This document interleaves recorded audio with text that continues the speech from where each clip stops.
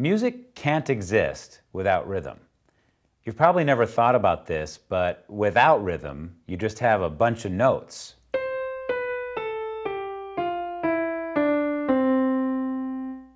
Now, if you play those same notes in a rhythm,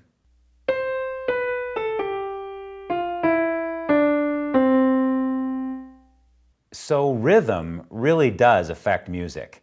In fact, I, I, remember one of my early piano teachers used to ask me, What is music?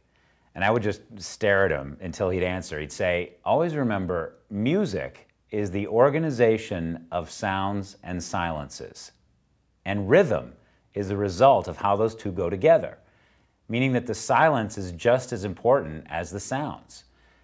To understand how long or short the notes should be, we look at the printed music and notice what the notes themselves look like. Some notes in music are longer, some notes shorter.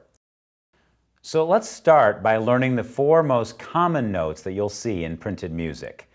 The appearance of these notes will tell you how long or how short we'll hold them.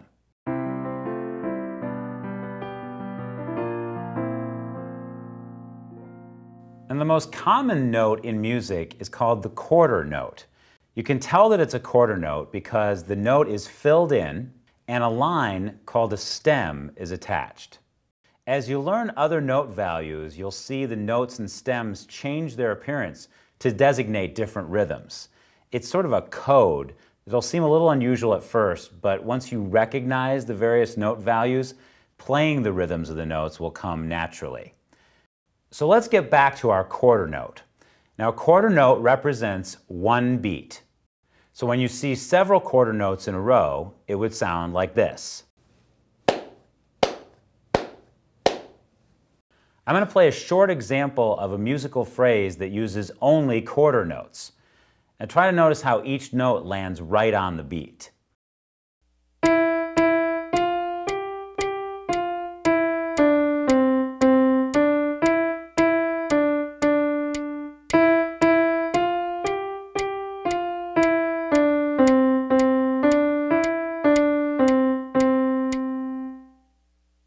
A quarter note is very easy to play because each note lands right on every beat.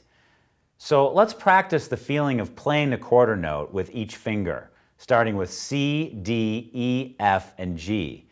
And just follow along with the prompts and play along on each beat. One, two, ready, go.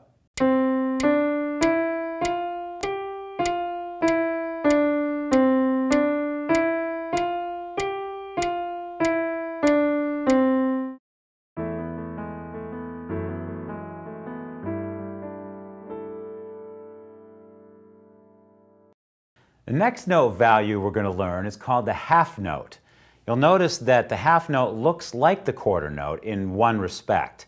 They both have stems, but it differs from the quarter note in that it's hollow. The note is not filled in. The half note lasts for two beats. Now remember when we clapped the quarter notes, we clapped on each beat.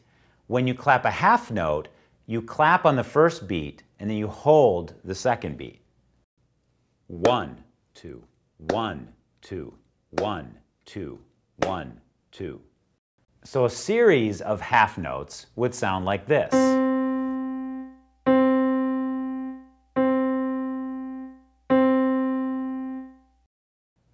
Let's play together a short musical example using only half notes. We're going to play a half note on each key starting with C, D, E, F, and G. So you can feel the rhythm of the two-beat half note. Just follow the screen and play along, remembering to hold each note for two beats. One, two, ready, go.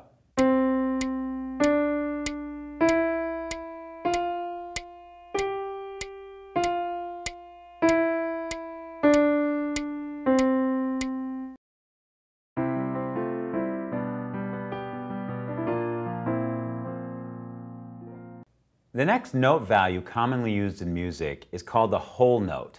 The whole note has a unique appearance. It doesn't have a stem, and the note is hollow. So if a quarter note gets one beat, a half note gets two beats, and a whole note gets four beats. You only clap one time for a whole note, and then hold the hands together with movement for the remaining three beats. One, two, three, four. One, two, three, four. Let's play the same five note sequence, this time as whole notes. One, two, ready, go.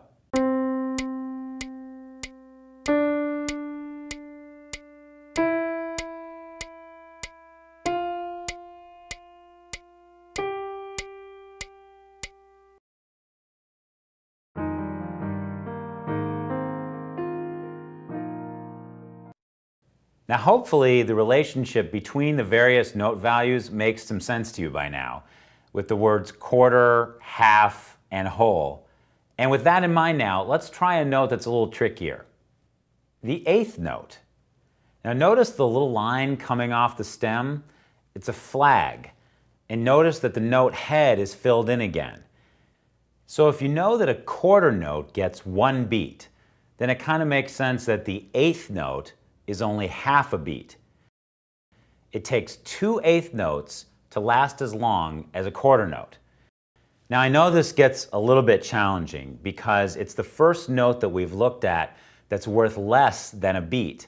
And also it's the first note that we play in between the beats. This is because an eighth note is worth only half a beat. You count eighth notes by saying one and.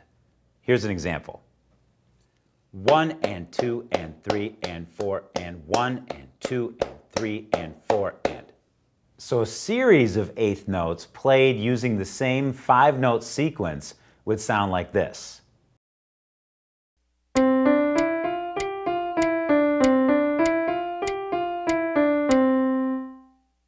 Now, like you just heard in that example, since eighth notes are worth only half a beat, they're often paired together in music to make a full beat. In music notation, these paired eighth notes will be joined together by a note beam. This is to help you recognize that together they equal one full beat.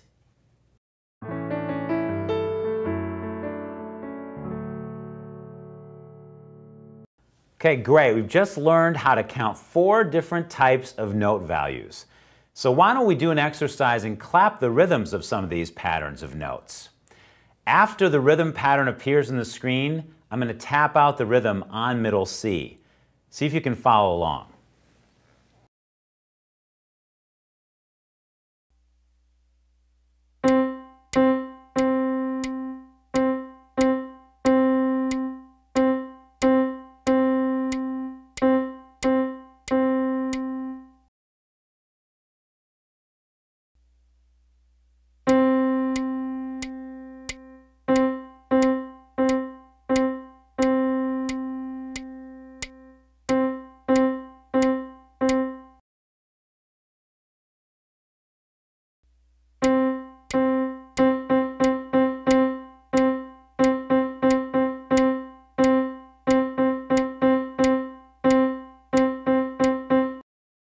Okay, let's try tapping out the next rhythm pattern together. Now put your finger over middle C and the screen prompt will tell you when to start.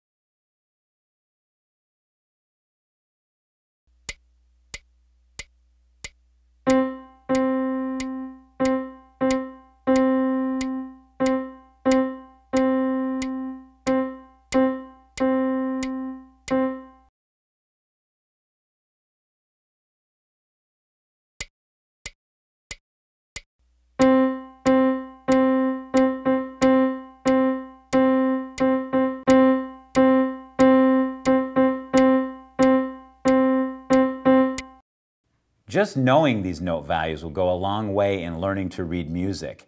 And as you advance in your musical studies, you'll learn that there are actually many different kinds of note values.